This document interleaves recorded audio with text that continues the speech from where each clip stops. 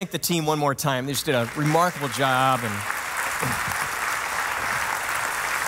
even from the sense of the, uh, the little rap that was done a few moments ago, that was all written uh, by those guys as well and just uh, produced just for us this morning. I think you can give them a hand as well. They did a great job on that. So. Well, uh, as we walk into Christmas and walk into this morning, uh, certainly for me, as I was thinking about this, thinking about this week and this weekend, and I love Christmas. Um, how many of you love the food of Christmas? I think I gained like 10 pounds over the holidays, kind of crazy. Movies of Christmas, anybody love the movies of Christmas? I love the movies, Scrooge, and all the other things go with it. Traditions, the lights, the nativities. We have a nativity that we put out at our house uh, every, uh, those things are glued to that thing. Can't steal Jesus on this one, can you?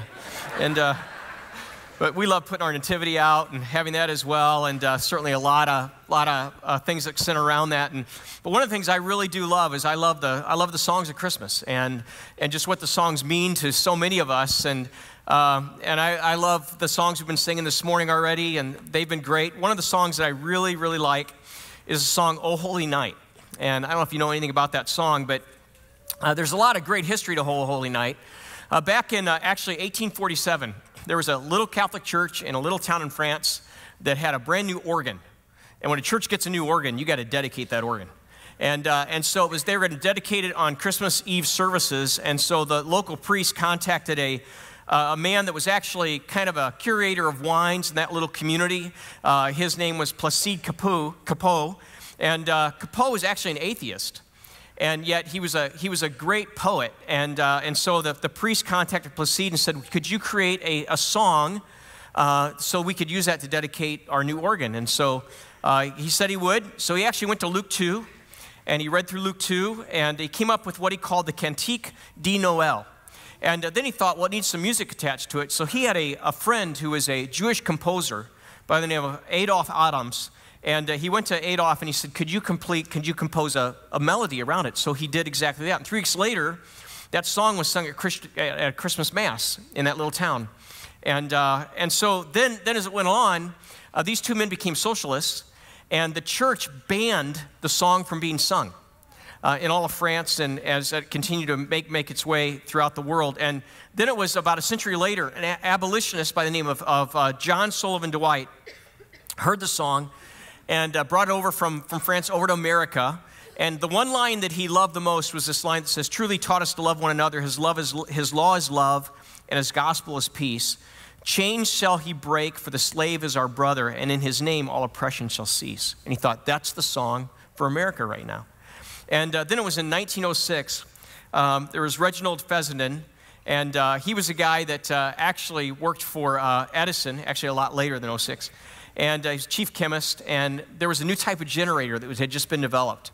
And uh, that generator could actually kind of begin to speak voices over the airways. And so, for the first time that anybody ever heard a voice over the airways, uh, Reginald read from Luke 2, and then it was done. He grabbed his violin and he played Oh Holy Night on his violin. And so, a little history behind Oh Holy Night. Great song. Oh Holy Night, the stars are brightly shining. It is the night of the dear Savior's birth. Long lay the world in sin and error pining that he appeared and the soul felt its worth. A thrill of hope, the weary world rejoices, for yonder breaks a new and glorious morn. When you think about Christmas, Christmas reminds us so much of the goodness of God, the graciousness of God, the, the power of God, the desire of God, the passion of God, the pursuit of God, the love of God.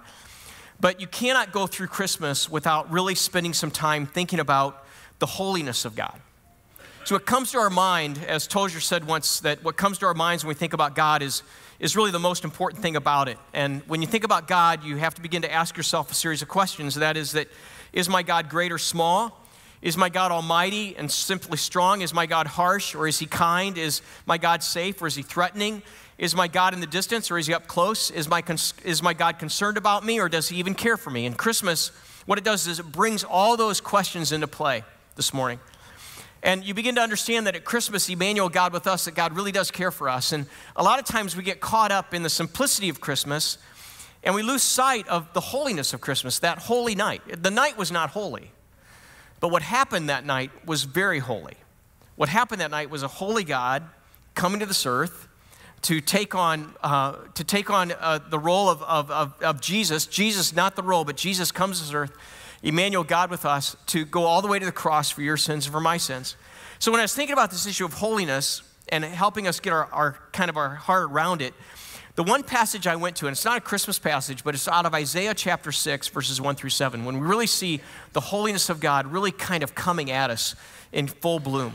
This is what happens in Isaiah chapter 6 when Isaiah gets a glimpse of the holiness of God. It just kind of stay with me for a few moments.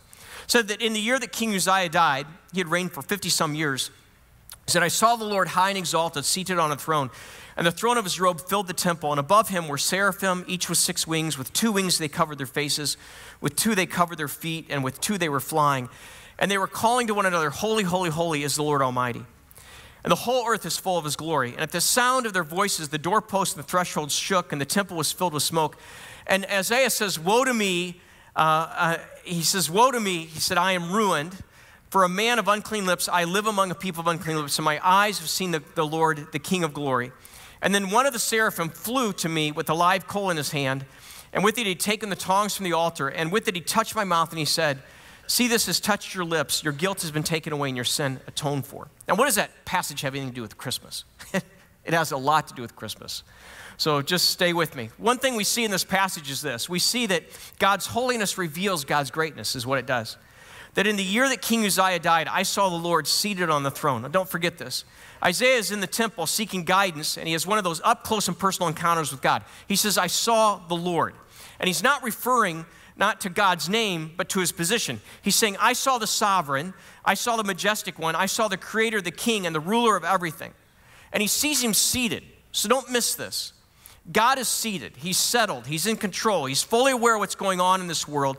He's not in a hurry. He's confident. He's sovereign. He's in charge, not anxious about a thing, not pacing around wondering what is going to happen next. He's not clueless or distant, but fully aware of everything you're walking through in an up close and personal way. He knew the government was going to shut down before the government shut down, you know? And uh, now just think with me for just a moment about your greatest worry that you may be faced with right now. Maybe your greatest anxiety. You, you might be pacing, you might be wringing your hands, you might be wondering how the situation is ever going to work itself out. And yet, God is sitting. He's sitting, He's in charge.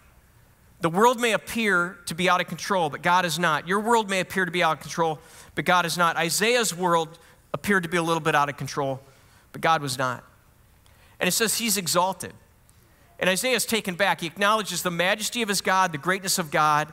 And the truth is, is that many times we, we give all sorts of thoughts to God. We call God the big man upstairs. We look to him as, as, uh, as someone or some, as someone that's way out there in the distance, or we make him so personal that begins to seem like you and like me weak and inadequate, ineffective, unpredictable, forgetful, unsure, unclear, limited in power. Matter of fact, J.I. Packer, he made the statement, he said, Our personal life is a finite thing. It is limited in every direction, space and time and knowledge and power, but God is not limited. He is eternal, infinite, and almighty. He has us in His hands. We never have Him in ours. Like us, He is personal, but unlike us, He is great. Then Isaiah, when he sees God in the midst of this glory, he says, when he sees the Lord, he says, and the train or the hymn filled the temple. When you think about that, I, I couldn't help but not think of a bridal gown in the midst of that. Uh, a couple weeks ago, Nick Jonas got married to Priyanka. This was her, this was her dress. And kids, I just want to tell you right now, girls, I just want to tell you right now, if you ever think that your dad's going to buy you a dress like that, he's not. Because there's no guy in this room that can afford to buy a dress like that. But if you can, I'd love to have lunch with you and just talk to you for a few moments because I'd like to be your friend. But, you know, Isaiah is consumed with the hem of his robe, and he says it fills the temple and going back and forth and up and down and front and back, and he's awestruck with its splendor. Now, don't miss this. Because if the hem of God's robe fills the temple, then think about his presence. Later in Isaiah, uh, he, will walk, he will walk us in the presence of an all consuming God, which he will say is Emmanuel, God with us. He will help us to see God as a wonderful counselor and a mighty God, an everlasting Father, and a Prince of Peace. Now, dwell for a moment on his presence in your life in this place right now on this Christmas weekend. In your current situations and your circumstances, he is all there. His presence is not void of your life. You know, maybe this Christmas you're in a season of aloneness. Maybe you're walking through a time of suffering or loss or, or struggle or frustration or fear or worry or anxiety or an uncertainty. I mean, this is it's kind of where I'm at in so many ways. But what you believe about God truly does impact how you'll walk through the season with God as well. Uh, one of the books that I just recently picked up, and I, I, picked it up because of its title, it's written by Paul David Tripp, my favorite author. It's a book called Suffering. And, uh, and you might look at that book and think, what do I need that book for? Well, we all need a, a good theology of suffering. And he talks about this issue of God's presence, and it really struck me when I, when I thought about this. He says, God is faithful to us, not because we are righteous, but because He is. He continues to love us, not because we perfectly love Him, but because His love for us remains perfect. He remains near not because we never thought of running away, but because He would never turn His back on His promises He made to us. You didn't earn His faithful presence by your obedience, and your disobedience won't take it away. The central message of Scripture is that God is with us forever because of the one thing and the one thing alone His grace. In your suffering, with so many things to worry about, you don't have to waste your spiritual emotional energy on the fear that you will be forsaken by the one who has the power to do for you what no one else can. He is in you, He is with you, He is for you, and He will never leave you. God is, is with us. The Lord is with us. And then, and then Isaiah sees these angels flying around. He calls them seraphs, and they have six wings, and two wings they cover their faces, and they're covered, they cover their feet with the other two, and two they're flying with at the same time. It's amazing, and, and it's a busy place. And really, when you think about these angels, what it means is seraphim means burning one. So these are not the kind of angels you see in, in, a, in a wonderful life. You see that little frumpy angel that comes to in a wonderful life. That's not what this gives, gives you the image of at this point. These, the, the, the, the, these are living flames of pure praise, sinless yet humble before God. And they speak these words Holy, holy, holy is the Lord Almighty. The whole earth is full of his glory. In the Hebrew culture, if you really wanted to emphasize something, you would repeat it. The angels could have said, Love, love, love. They could have said grace, grace, grace, mercy, mercy, mercy, forgiving, forgiving, forgiving. But they say holy, holy, holy. And nowhere else in Scripture will you find a three-peat to speak of one of God's attributes. God is holy, and His holiness, in His holiness, all things are tied together. Don't miss this on this Christmas season. Because He's holy, His love is wholly pure. His mercy is holy mercy. His grace is holy grace, always extended. His justice is always fair because it's not based on reasonable doubt, but on beyond a shadow of a doubt, and it's holy justice.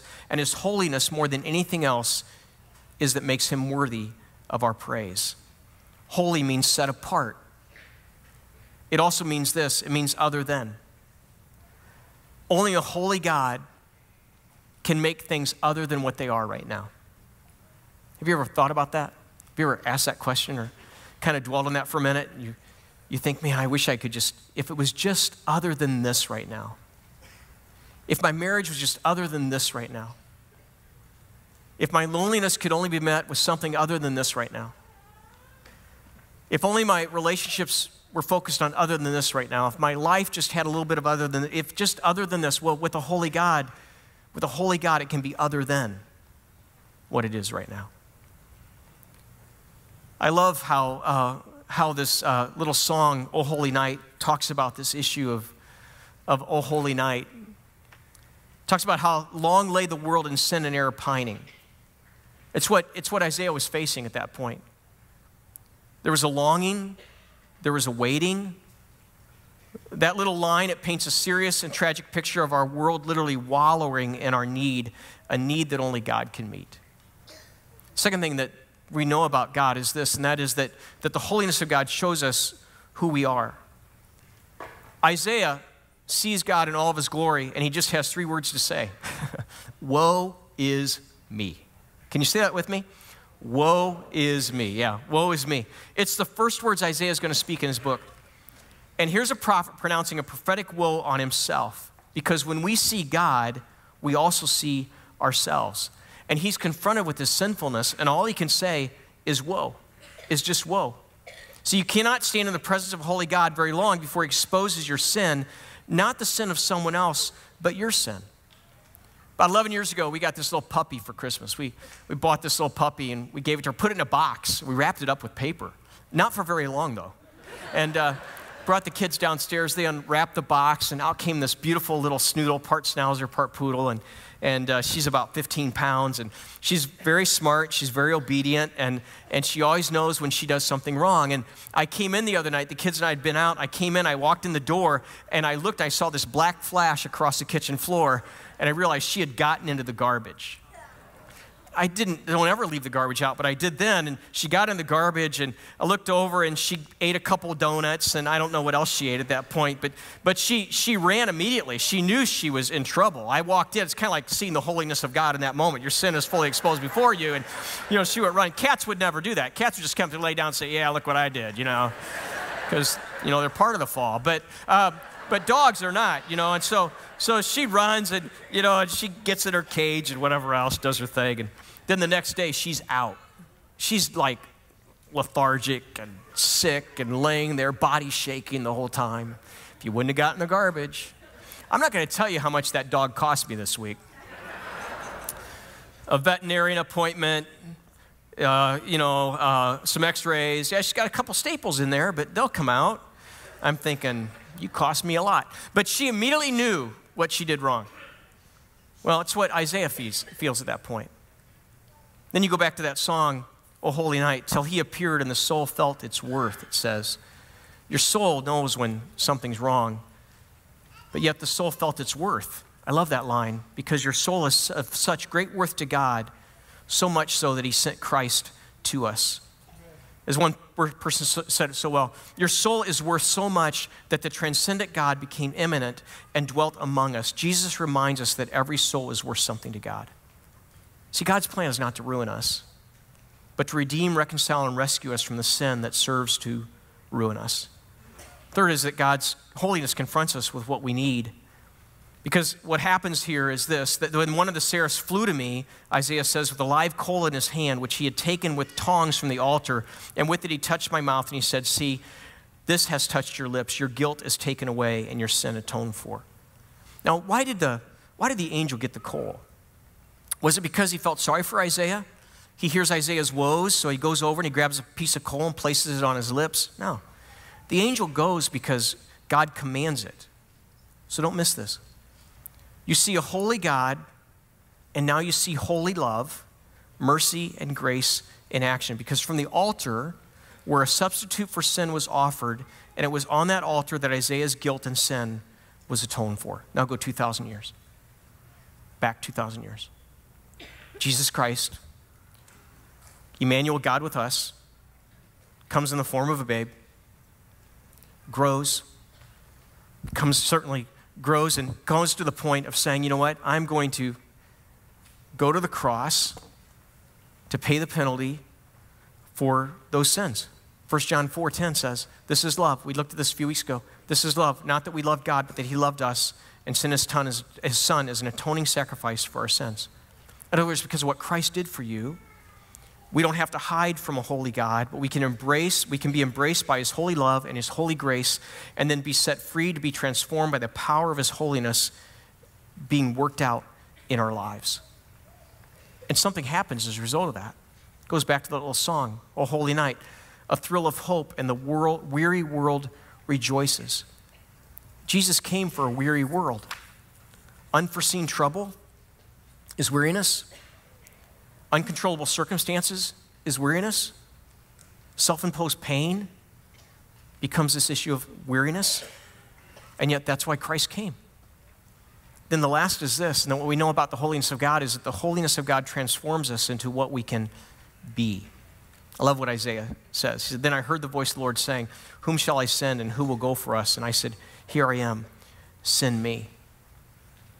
I've been changed. In other words, for yonder breaks a new and glorious morn in a holy night. Many of us are, are walking, we're walking into this season. Let me just say this to you in closing. We're walking into this season with a hold of sin in our life. And it might be holding you down from keeping you from experiencing the fullness and the freedom of God's grace. But if you have experienced the forgiveness of sins through the acceptance of Christ your Savior, you've been set free. Paul even tells us, he says that we're a new creation in Christ Jesus. The old is gone, the new has come.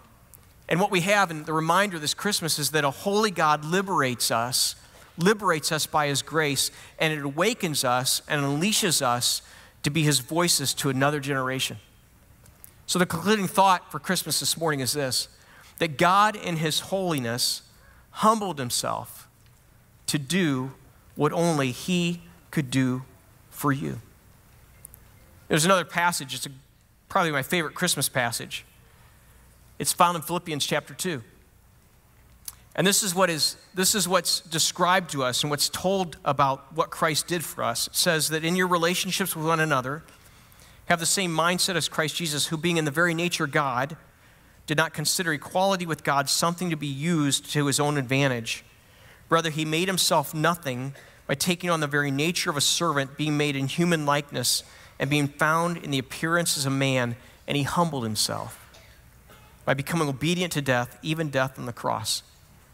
Therefore, God exalted him to the highest place and gave him the name that is above every name, that the name of Jesus every knee should bow in heaven and on earth and under earth, and every tongue acknowledge that Jesus Christ is Lord to the glory of God our Father. What does Paul tell us there in Philippians?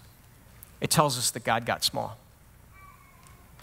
It tells us that he came as God with us. They took on the very nature of a servant. It tells us so that he came as God with us, so he could die as God for us, to become obedient to death, even death of the cross, to pay that penalty for your sins and for my sins, so that we could live as God in us. God leading and guiding our lives as only a holy God can do. As one writer put it so well, like a king who out of love removed his crown, set aside his scepter, took off his royal robes, donned the firmament of a common beggar, and lived among the poorest of his subjects. Never ceasing to be king, he got low, so low that he willingly died the death of a despised criminal, all to save his own. So, this Christmas, where are you at with a holy God? A holy God who became small, who came down to this earth, Emmanuel, God with us, not simply to lie in a manger, but to go all the way to a cross to pay the penalty for your sins and for my sins. Because this Christmas, Jesus says, I'm with you. I paid the penalty for your sins to save you. And I long now to lead you in a very weary world. Let's pray together, shall we?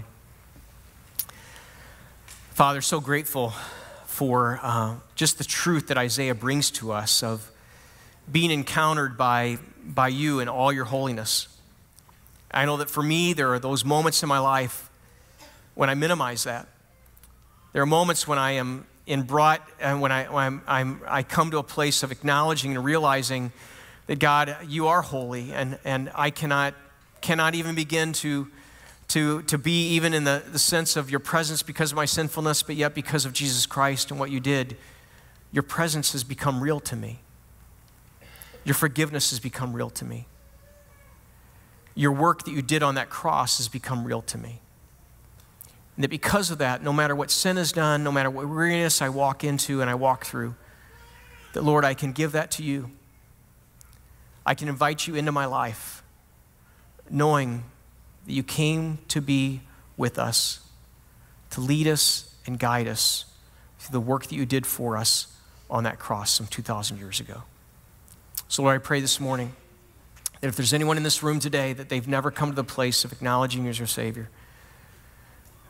that through this weekend, as we think about how holy you are, we recognize how much we need a holy God to lead our lives and to guide our lives as only you can do. We love you. In the name of Jesus, I pray. Amen.